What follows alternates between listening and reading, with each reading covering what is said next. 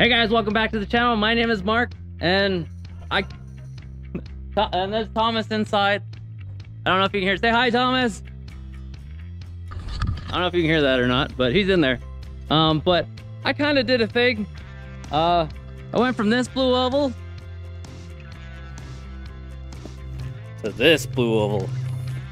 Well, there's actually no blue oval on it. There's just a nice little Mustang emblem on the front.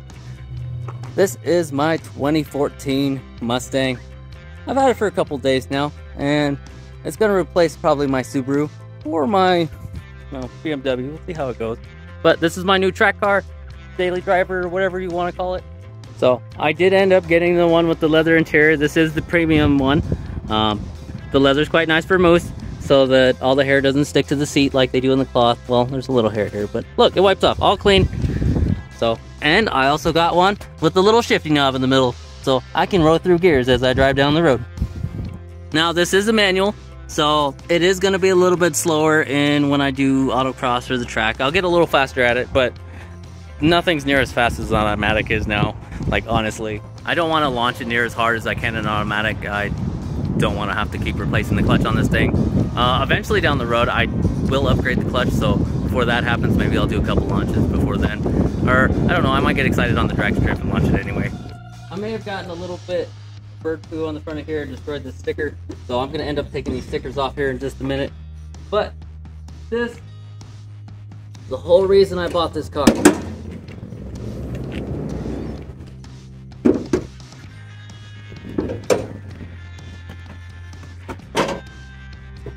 Nice Coyote V8. A little bit faster than Stephanie's car. So she's a little happy now that we now match. We could drive up together and be in our little Mustang club by ourselves.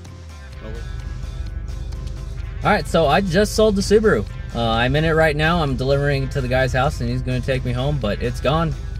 Now it's no longer mine. I've had it for about five years now and it's treated me very well. Hopefully it'll treat him very well. And, you know, it's been one of the most reliable vehicles that I've had. And also, it's been one of the longest vehicles I've ever owned. I've always bought a new, you know, for the longest time, it was about every two years I'd buy a different vehicle. And then every other year after that, I would buy a motorcycle. But I haven't had a motorcycle in a little while since uh, I go everywhere with Moose, and it's really hard to. He doesn't want to sit on the back. We'll just go with that. Maybe I'll get him a bike with the sidecar and see how he likes that. But I probably won't because I don't really like sidecars that much. So I have a couple cars. Now I'm down to the I no longer have the Subaru, and I gotta fix the BMW now. That way I can go race again. So ever since I was a kid, I wanted to have a Mustang. I don't know why it took me until I was 33 to get my first one. I always seem to come up with some kind of excuse of why I shouldn't get one, or like, I don't know. I, I bought the BMW before I bought the Mustang, and honestly, like, I should have got the Mustang first. So this is a 2014 Mustang. Uh, I was originally looking at getting a 2015 Mustang or newer, but for right now, for some reason, all of them in the area or even in like Southern California and Utah, they're all in the like high 20s, low $30,000 range, and I didn't want to spend that much. I only spent 19 on this one, and this is only a year older. So I don't really think the $10,000 difference was really worth it.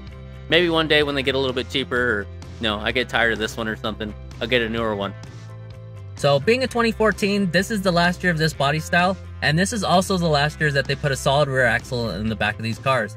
Uh, all the 2015 and newer ones have an independent rear suspension, which makes them handle a little bit better on the track and autocross, which is what I like to do. This is why I buy my cars to go out and have fun and do track days, and you know, I want it to handle a little bit better. But I can throw some suspension upgrades at this thing, which it's going to get in the near future, and I can still go out there and do that and have fun it just won't handle quite as well as I wanted to.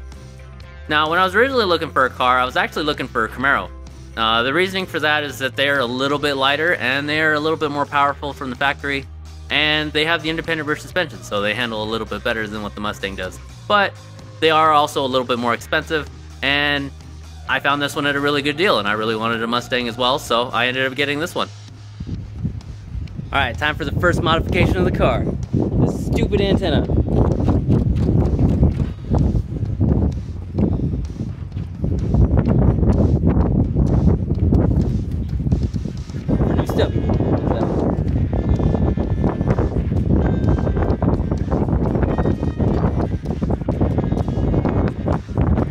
Now I got 500 horsepower. Look at that. All right, so now I have the car. It's time to start modifying it because who wants a stock car? Well, some people do, but I don't. So let's go ahead and change it. Uh, the first thing I'm gonna do is I'm gonna take off all these little little wrap stripes that they have on here. I don't really like it that much. It looks okay, but I think it would look a lot better without it. So let's go ahead and start taking that off. Pretty easy. It's been sitting out in the sun, so it's nice and warm. Plus, they want to take these off anyway. Like that.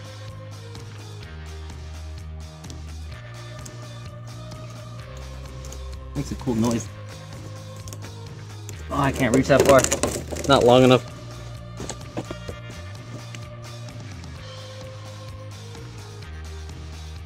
Leaves a little bit of the gooey line, but we could take that off.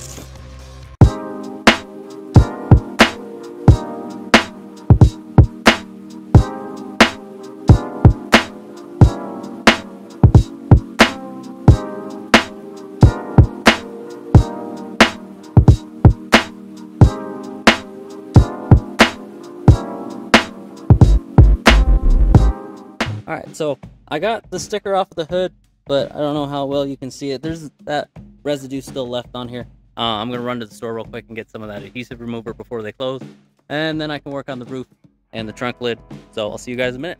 All right, so I got the stripes off of the hood, and I don't know if you can see it in the light or not, but there's actually different colors from where the stripes were. So it's a little bit darker, and then it's a little faded out here, and it kind of gives it like a little ghost stripe appearance there and I think it looks really good that way. And I'm not even, I'm not even bothered by it. I still got a little bit of the glue left that I gotta go and buff off. Now, one thing I really like about the factory hood is these are actually functional vents. It goes down inside of the the hood. Let me pop it. Oh, oh. let me walk back here and pop the hood. Apparently, I should have done that first. Bam. I don't know why I have to bam everything, but both the vents there Maybe if I can get it open. This feels like a two-handed job. Alright, there, now we got it open. So, it actually, they're blocked off a little bit by these little covers. Uh, it's supposed to help with the rain so it doesn't drip down on stuff. But I'll probably do what everybody else does and I'm going to cut them out. That way I can get a little bit more flow going through these little vent holes there. But what I really want to do is I'm going to take them out and I'm going to paint them black. So without the little stripe there, or like the little ghost stripe that's still there, I think these would look a lot better if they were black. So now that I got the sweet stubby antenna on there, uh, I do have a spoiler that's coming in for this thing. I don't have it here, it's supposed to be here next week. But I do have a new chin spoiler. So I wanted to make the front look a little bit more aggressive. Like it still looks good now, but the lip on it is a little bit small. So here, let me see if I can give you a little idea of what it's about to look like set this down underneath here. So that one is a little bit bigger. It's going to stick out more, uh, make it look a little bit lower to the ground in the front, and make it give it a little bit more of an aggressive look, which is what I'm going for. Well, there are the two lips next to each other. Alright guys, so I'm gonna apologize in advance. It's a bit windy out here. Um, it's the next day now. I had to go pick up Steph last night, so I had to rush and put everything back together so I didn't get a chance to video anything. But I really like how this thing turned out. Like, look at it now. So, that new front lip makes it look a little bit lower to the ground, which right now it's not too big of a problem. I haven't scraped on anything yet, but I know in the near future when I lower this thing, it's definitely gonna start scraping. I'm gonna have to be a little bit more careful. So I'm gonna try not to scrape on stuff. But I did finally get all of the wrap that was on here off. I got all of the goo off, and now it looks a lot nicer. I didn't mind him before, but I really wanted him off. I didn't like him that much. And it took me a little bit of a while to go through. I had to buff everything off, get all the sticky done, or the sticky stuff off. Now, if you look here, you can see, I still really don't know how well it shows up in the video, but like the two different colors, it gives it like a nice little ghost pinstripe kind of looking thing, uh, which I really enjoyed.